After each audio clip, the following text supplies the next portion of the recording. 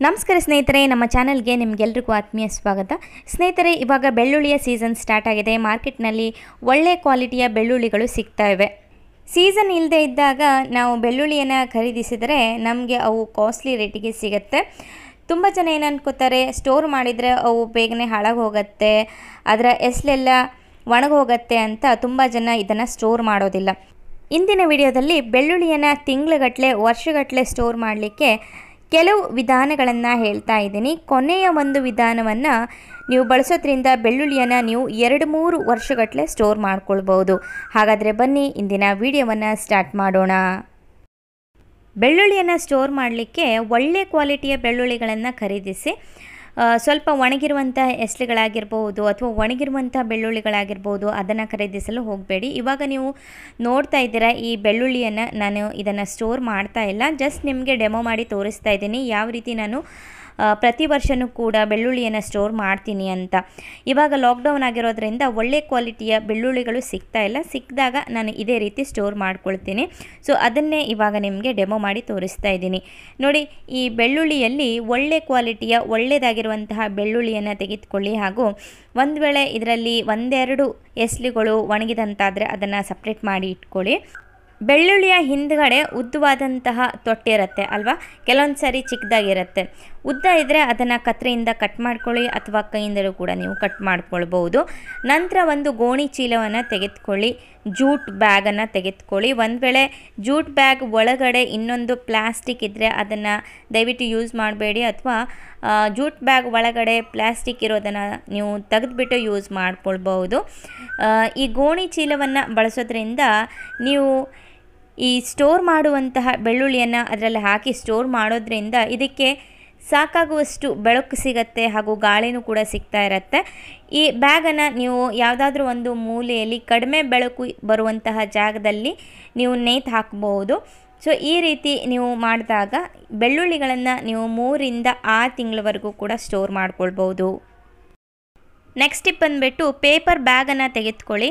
ನೋಡಿ, ಈ ರೀತಿಯ ಪೇಪರ್ ಬ್ಯಾಗ್ ಇರುತ್ತೆ, ಪೇಪರಿನ ಕವರನ್ನು ತೆಗೆದುಕೊಳ್ಳಿ. ಅದರಲ್ಲಿ ನೀವು ಸ್ಟೋರ್ ಮಾಡುವಂತಹ ಬೆಳ್ಳುಳ್ಳಿಗಳನ್ನು ಹಾಕಿಬಿಟ್ಟು ಅದನ್ನು ಚೆನ್ನಾಗಿ ಕವರ್ ಮಾಡಿಬಿಟ್ಟು, ಮೇಲ್ಗಡೆ ಇರುವಂತಹ ಎಕ್ಸ್ಟ್ರಾ ಪೇಪರನ್ನು ಈ ರೀತಿ ಫೋಲ್ಡ್ ಮಾಡಿಬಿಟ್ಟು ನೀವು ಸ್ಟೋರ್ ಮಾಡ್ಬೋದು.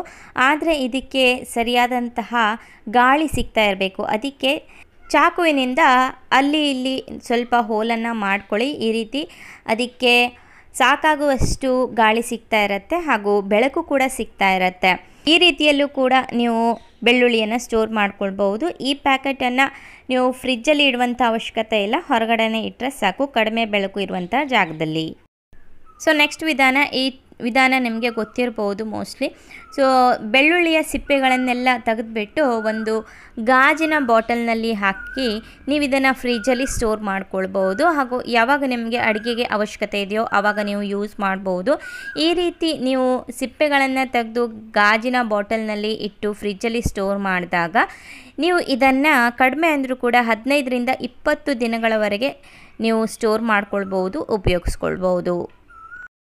ಇನ್ನು ನೆಕ್ಸ್ಟ್ ಟಿಪ್ ಬಂದುಬಿಟ್ಟು ಸಿಪ್ಪೆ ತೆಗೆದಿರುವಂತಹ ಬೆಳ್ಳುಳ್ಳಿಯನ್ನು ಒಂದು ಗಾಜಿನ ಬಾಟಲ್ನಲ್ಲಿ ತುಂಬಿಟ್ಟು ಅದರಲ್ಲಿ ನೀವು ಅಡಿಗೆಗೆ ಉಪಯೋಗಿಸುವಂತಹ ಎಣ್ಣೆಯನ್ನು ಹಾಕಿ, ಎಸ್ಲುಗಳೆಲ್ಲ ಎಣ್ಣೆಯಲ್ಲಿ ಮುಳುಗಿರಬೇಕು. ಅಷ್ಟು ನೀವು ಎಣ್ಣೆಯನ್ನು ಹಾಕಬೇಕಾಗತ್ತೆ. ಇದನ್ನು ನೀವು ಫ್ರಿಜ್ಜಲ್ಲಿ ಸ್ಟೋರ್ ಮಾಡ್ಬೋದು. ಈ ರೀತಿ ನೀವು ಸ್ಟೋರ್ ಮಾಡಿದಾಗ ಈ ಎಸ್ಲುಗಳನ್ನು ನೀವು ಎರಡು ಮೂರು ತಿಂಗಳಗಟ್ಟಲೆ ಯೂಸ್ ಮಾಡ್ಕೊಳ್ಬೋದು.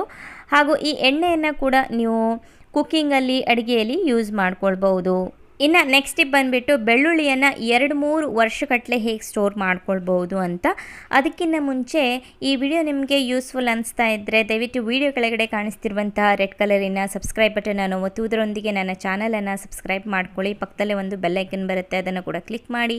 ಆಲ್ ಅಂತ ಪ್ರೆಸ್ ಮಾಡಿ ಈ ರೀತಿ ಮಾಡೋದ್ರಿಂದ ನಾನು ಹಾಕುವಂತಹ ಎಲ್ಲ ವಿಡಿಯೋಗಳ ನೋಟಿಫಿಕೇಷನ್ಗಳು ನಿಮಗೆ ಸಿಗುತ್ತೆ.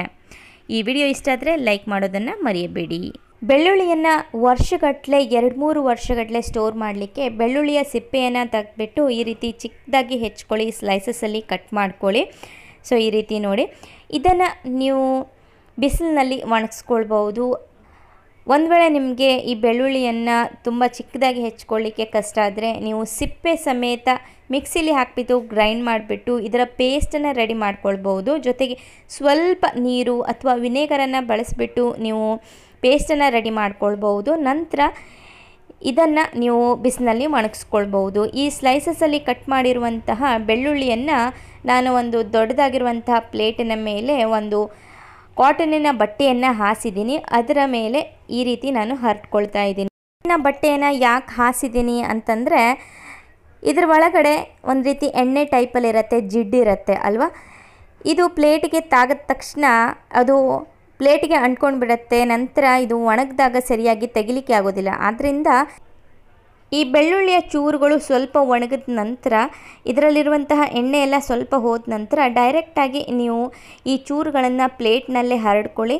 ಪ್ಲೇಟ್ಗೆ ಹರಡಿದಾಗ ಇವು ಬೇಗನೆ ಒಣಗೋಗುತ್ತೆ. ಒಳ್ಳೆ ಬಿಸಿಲಿದ್ರೆ ಈ ಚೂರುಗಳೆಲ್ಲ ಎರಡು ದಿನದಲ್ಲೇ ಒಣಗೋಗುತ್ತೆ. ನೀವು ಗ್ರೈಂಡ್ ಮಾಡಿ ಇದನ್ನು ಒಣಗಿಸಿದಾಗ ಒಂದೇ ದಿನದಲ್ಲಿ ಅವು ಒಣಗೋಗ ಈ ಬೆಳ್ಳುಳ್ಳಿಯ ಚೂರುಗಳೆಲ್ಲ ಚೆನ್ನಾಗಿ ಒಣಗಿದ ನಂತರ ಮಿಕ್ಸಿಲಿ ಹಾಕಿಬಿಟ್ಟು ನೀವು ಪೌಡರನ್ನು ಮಾಡ್ಕೊಳ್ಬೋದು ಸೊ ನೀವು ಈ ಬೆಳ್ಳುಳ್ಳಿಯ ಪುಡಿಯನ್ನು ಮಾಡಿಟ್ಬಿಟ್ಟು ಫ್ರಿಜ್ಜಲ್ಲಿ ಸ್ಟೋರ್ ಮಾಡೋದ್ರಿಂದ ನೀವು ಎರಡು ಮೂರು ವರ್ಷಗಟ್ಟಲೆ ಈ ಪುಡಿಯನ್ನು ಯೂಸ್ ಮಾಡ್ಕೊಳ್ಬೋದು. ಸೊ, ಇವಾಗ ನೀವು ನೋಡ್ತಾ ಇದ್ದೀರಾ, ಈ ಪುಡಿ ನಾನು ಮೂರು ವರ್ಷದಿಂದ ಯೂಸ್ ಮಾಡ್ತಾ ಇದ್ದೀನಿ. ಹಾಳಾಗಿಲ್ಲ, ಫ್ಲೇವರ್ ಕೂಡ ಹಾಗೇ ಇದೆ, ಟೇಸ್ಟ್ ಕೂಡ ಹಾಗೇ ಇದೆ. ಈ ಬೆಳ್ಳುಳ್ಳಿಯ ಪುಡಿಯನ್ನು ಒಗ್ಗರಣೆಯಲ್ಲಿ, ಸಾಂಬಾರು ಮಾಡುವಾಗ ಪಲ್ಯ ಮಾಡುವಾಗ, ಅಡುಗೆಗಳಲ್ಲಿ, ಮಸಾಲೆ ಅರಿಯುವಾಗ ಯಾವುದೇ ನೀವು ಅಡುಗೆಗಳಲ್ಲಿ ಈ ಬೆಳ್ಳುಳ್ಳಿಯ ಪುಡಿಯನ್ನು ಯೂಸ್ ಮಾಡ್ಬೋದು. ಒಳ್ಳೆಯ ಫ್ಲೇವರ್ ಬರುತ್ತೆ ಇದಕ್ಕೆ ಹಾಗೂ ಟೇಸ್ಟ್ ಕೂಡ ಹಾಗೇ ಇರುತ್ತೆ. ಸೊ ಇದನ್ನು ನೀವು ಖಂಡಿತವಾಗ್ಲೂ ಟ್ರೈ ಮಾಡಿ, ಈ ಬೆಳ್ಳುಳ್ಳಿ ಪುಡಿಯನ್ನು ಯಾವ ರೀತಿ ಮಾಡೋದು ಅಂತ ನಾನು ಪ್ರಾಪರ್ ವಿಡಿಯೋವನ್ನು ನನ್ನ ಚಾನಲ್ನಲ್ಲಿ ಹಾಕಿದ್ದೀನಿ. ಅದರ ಲಿಂಕನ್ನು ನಾನು ಡಿಸ್ಕ್ರಿಪ್ಷನ್ ಬಾಕ್ಸಲ್ಲಿ ಹಾಕಿರ್ತೀನಿ. ದಯವಿಟ್ಟು ಚೆಕ್ ಮಾಡ್ಕೊಳ್ಳಿ. ಸ್ನೇಹಿತರೆ, ಈ ಕೆಲವು ವಿಧಾನಗಳನ್ನು ಯೂಸ್ ಮಾಡಿಬಿಟ್ಟು ನಿಮ್ಮ ಮನೆಗೆ ತಂದಿರುವಂತಹ ಬೆಳ್ಳುಳ್ಳಿಯನ್ನು ನೀವು ವರ್ಷಗಟ್ಟಲೆ ತಿಂಗಳಗಟ್ಟಲೆ ಸ್ಟೋರ್ ಮಾಡ್ಕೊಳ್ಬೋದು ಹಾಗೂ ನಿಮಗೆ ಇನ್ನು ಯಾವುದೇ ಮೆಥಡ್ ಗೊತ್ತಿದ್ದರೆ ನನ್ನೊಂದಿಗೆ ಕಮೆಂಟ್ ಬಾಕ್ಸಲ್ಲಿ ದಯವಿಟ್ಟು ಶೇರ್ ಮಾಡಿ ಹಾಗೂ ನೀವು ಮೇಲ್ ಕೂಡ ಮಾಡ್ಬೋದು. ಸೊ ಸ್ನೇಹಿತರೆ, ಇಂದಿನ ಈ ವಿಡಿಯೋ ನಿಮಗೆ ಯೂಸ್ಫುಲ್ ಅನಿಸಿದರೆ ದಯವಿಟ್ಟು ಲೈಕ್ ಮಾಡಿ, ಆದಷ್ಟು ಶೇರ್ ಮಾಡಿ ಹಾಗೂ ಚಾನಲ್ಗೆ ಸಬ್ಸ್ಕ್ರೈಬ್ ಕೂಡ ಆಗ್ಬೋದು. ಸಿಗೋಣ ಮುಂದಿನ ವಿಡಿಯೋದಲ್ಲಿ ಅಲ್ಲಿವರೆಗೂ ಖುಷಿಯಾಗಿರಿ ಹೆಲ್ದಿಯಾಗಿರಿ ಥ್ಯಾಂಕ್ ಯು